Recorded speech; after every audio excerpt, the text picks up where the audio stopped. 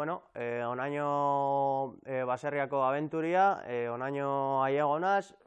e, penak inez, ja finala hor ikusten hauen, eta, bueno, baina posik esperientzia, bizitzako esperientziaz, e, ezagutu duten gentiaz, eta hori, geixen bat eskertu audientziai, e, e, apoio da danagatik, e, geixen bate kuadriakuei, familixakuei eta urbaltzeko peina da eta hori, eta ba, edu, e, bizitzai e, potro jarri jako, eta mala hostisa gehiago erakutzi. Atzo Ibai eta biok e, kanporatuak izan izan ginen, e, pena asko eman, eman ditzen eta azkenean geuden e, finalaren e, ateetan, eta ba, hori gehiago errabia gehiago ematen dit, baina ezke e, bigar, osea, froga, osea, gure frogan ez, baina e, pasaden frogan ezke neukan bizkarreko mila, osea, mina izugarria, eta e, froga honetan basaiatu gara dena ematen, baina azkenean e, gari eta gontzal ba, hobe izan dira,